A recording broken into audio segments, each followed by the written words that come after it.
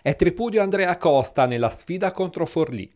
La squadra di coach di Paolo Antonio ha saputo approfittare nel migliore dei modi delle difficoltà dell'Unieuro e delle assenze di Bonaccini e Marini per imporre il proprio gioco grazie al contributo efficacissimo della coppia di americani Bowers e Raymond, a segno rispettivamente con 16 e 20 punti per conquistare il derby del Palacattani sul 74 a 63. Sono molto contento per, eh,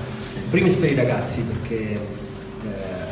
venivamo da un periodo, come sapete meglio di me, non felicissimo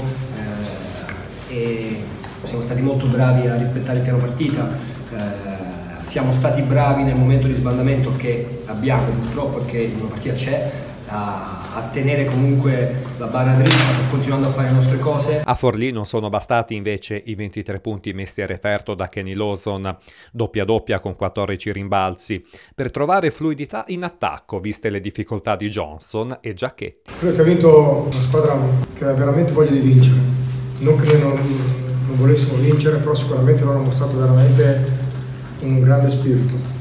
e noi nonostante di fronte al nostro pubblico non abbiamo saputo tradurre anche in situazioni di necessità,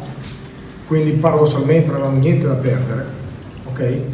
Che ridotti come eravamo ridotti non avevamo niente da perdere, ma non abbiamo saputo tradurre in aggressività, soprattutto nel primo tempo, quello che invece loro hanno prodotto per 40 minuti.